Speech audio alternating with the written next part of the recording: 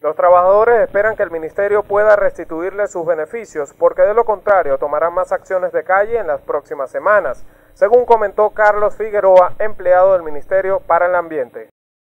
Estamos protestando porque desde que se usó la unificación con el Ministerio de Vivienda y Hábitat, se nos quitaron mucho, todos los beneficios y los que actualmente nos han dado están por debajo de la mitad de lo que teníamos anteriormente. Nunca hemos parado de trabajar, siempre hemos seguido laborando. Se nos restituya todos nuestros beneficios, todos nuestros salarios y todos los que nos, adeudan desde estos seis meses del año 2015.